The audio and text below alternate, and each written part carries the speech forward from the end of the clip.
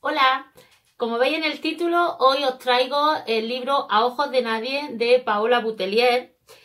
Paola eh, ya la conoceréis muchos y muchas porque es una booktuber que tiene un canal que se llama Picheando Libros. Es un canal muy conocido que tiene muchos suscriptores y más que va a tener, no, no me cabe la, la menor duda. Y según nos cuenta ella, pues empezó a esta andadura de escritora hace un par de años y en noviembre fue cuando pudo materializar este sueño en la publicación de su propia novela. La autopublicó en Amazon, con lo cual la única forma de comprar el libro a través de, Amazon, yo preferí ponerme en contacto con ella y que fuera ella quien me la facilitara eh, con su dedicatoria y su marca página. Y la leí hace ya un mes o así y ya he encontrado el momento de traerosla y poder explicarosla aquí en mi canal. Y nada, así que espero que os guste y sin más, comenzamos.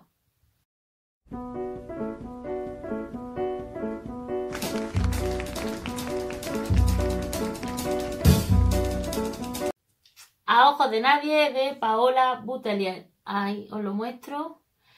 Como he dicho antes, como la obra fue autopublicada, ella ha tenido que buscarse la vida para poder hacerlo absolutamente todo. Y bueno, este es el resultado de la cubierta preciosa que, según nos comenta ella, la foto fue hecha por su pareja, que ella es una amiga, que lleva su chubasquero amarillo, en fin, cuando seguimos un poquito a, a Paola por redes, por su canal, por Instagram y por Twitch y todo esto, pues nos enteramos de muchas cosillas interesantes que ahora os puedo contar yo a, vosotros y vosotras. El libro está, está muy bien, es gordito, ¿eh? Tiene unas 400 páginas. Y la verdad que es que eh, tardé como unos, unos tres días en leerlo muy poquito en realidad porque la verdad que es que el libro engancha desde primer desde primer momento. Y como muchos y muchas sabréis, Paula es una gran fan de, de Agatha Christie. Entonces, pues su novela nos la sitúa en Torquay, que es donde nació Agatha, hace algunas referencias sobre ella en el libro y como no podía hacer de otra manera, pues su libro es una novela negra en la que, bueno, pues nos cuenta un caso de, de asesinato que ocurre en la ciudad que, he mencionado antes. Y lo bueno de, esta novela y que ha tenido Paola a la hora de escribirlo es que no solo nos centramos en, el, en la trama de la novela, sino que ella hace una descripción muy buena de los personajes, eh, los cuales nos vuelve atrás en el tiempo, al presente también para conocerlos más. Entonces te puedes sentir perfectamente identificado con, ellos y con ellas sabiendo perfectamente cómo son. Entonces, eh, la verdad que esto es algo que, he valorado mucho porque incluso había momentos en los que eh, no estaba pendiente de la trama en sí porque también me interesaba mucho la vida de ellos.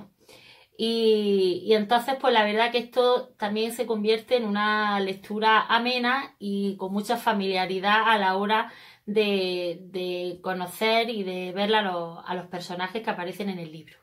Volver hacia adelante y hacia atrás, pues vas conociendo sus historias familiares, vas conociendo sus pensamientos, vas conociendo sus sentimientos y vas atando cabos de cositas que van pasando. Los protagonistas, que en este caso son Mera y Harry, pues en cada capítulo, según corresponda, pues van hablando, van hablando ellos, ¿vale? Mera es una chica joven que trabaja en un periódico local en Turquía, es muy buena periodista y Harry es un gran inspector de homicidios. Eh, la historia comienza cuando ella está en el, periódico y dan el aviso de que ha habido unas pintadas en un convento, un orfanato de la ciudad. En estas pintadas aparece también el, cuerpo de una joven asesinada. Lo que tenemos que, ver y que averiguar es si esas pintadas tienen algo que ver con, el asesinato de esta joven.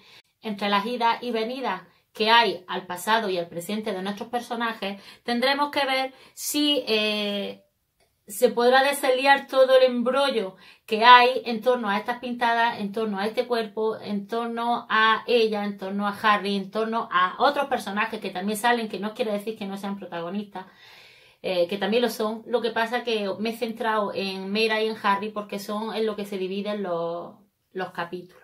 Paola en la novela también hace referencia a su Málaga natal, ya que nos sitúa al padre de Mera como un malagueño que se enamora de una británica y por eso viven y pasa lo que pasa en, en Torquay. Esta novela es autoconclusiva y la verdad es que eh, la novela tiene un giro espectacular, muy chulo, que por primera vez en mi vida, la verdad es que mm, lo vi venir.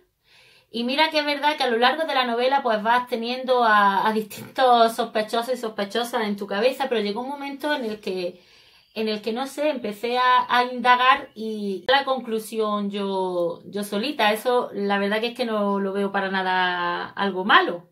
Yo me, me encantó el haber dado yo con la, también con la clave de, de lo que pasaba. Eso, por supuesto, no me quitó eh, para nada el finalazo que, que la novela tiene. Como ya he dicho antes, es una novela que engancha mucho. Paula lo pone fácil, desde el primer capítulo te pones a leer y quieres seguir más, y quieres seguir conociendo más. Por lo dicho, de la trama, para, para intentar llegar al final de la trama y por saber cómo eran ellos y saber todo sobre su vida. Y la verdad que se lee muy bien. Cuando empiezas a leerla, pues la verdad que es que mm, pasa un poco como Agatha Christie, la verdad.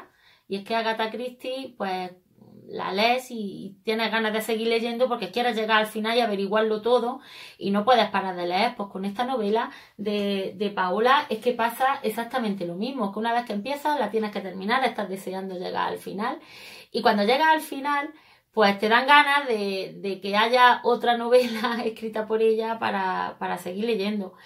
Eh, alguna vez le he hecho esa pregunta de si iba a seguir escribiendo, por supuesto ya lo tiene, tiene en mente, seguir escribiendo libros, cosa que celebro porque la verdad que, que este, que es su primera novela, está muy bien. En este libro hace algunos guiños también a la homosexualidad, cosa que, que está muy bien que lo haga.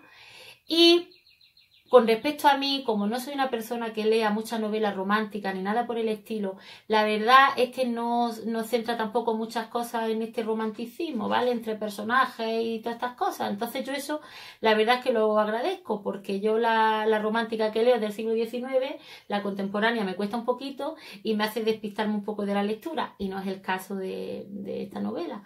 Así que por esa parte también, perfecto. Y aparte de estos guiños que he dicho a la homosexualidad y, el tema del romanticismo, también hace otra condenación, condena al maltrato. O sea, que toca puntos muy importantes dentro de que una novela negra, dentro de que una novela contemporánea y todo, mm, la verdad que es que le da toquecillos importantes a, a sus líneas. Recientemente eh, nos ha comunicado también por Instagram que está grabando el audiolibro de A Ojos de Nadie, ella misma con su propia voz en Storytel. Yo, sinceramente, no soy una persona de audiolibros porque no, no me gusta, yo necesito tocar papel. Pero sí es una buena noticia para aquellos y aquellas que os gusten, pues saber que vaya a tener a ojos de nadie cuando ya tenéis que estar pendientes de las redes de Paula, porque ya comunicará cuando, cuando está disponible, pero bueno, pues que sepáis que, está empezando a, a grabarlo. Antes no he mostrado, lo tengo aquí, es el, el marcapáginas que venía con, con el libro. Está muy bien. Mucho más que deciros. Eh, si es verdad lo que ya está, que si... Tengo mucho más que deciros, que si os gusta la novela negra y queréis devorar un libro en pocos días y con enganche la trama y que... Pues la verdad que es que os lo recomiendo, os lo recomiendo mucho que no sé si ahora mismo eh, todavía ella sigue teniendo ejemplares que os pueda eh, firmar y mandar ella, eso es cuestión de, que estéis pendientes de sus redes y que lo veáis por si queréis que comprárselo a ella misma como he hecho yo. Y nada más que, que siga escribiendo novelas como, como esta, que estoy muy contenta de habértelo comprado y haberlo leído y haberlo disfrutado. Y ya está, y a vosotros y a vosotras que deciros, pues que si la habéis leído, pues que me comentéis cosillas por aquí abajo. Y nada, que si es la primera vez que me veis, pues si os gustan mis vídeos, que os suscribáis. Los que ya estáis, pues que le deis a la campanita para que os avise cuando subo nuevo vídeo. Y poco más, que nos vemos pronto en cantidad de letras. Soy Cande. Chao.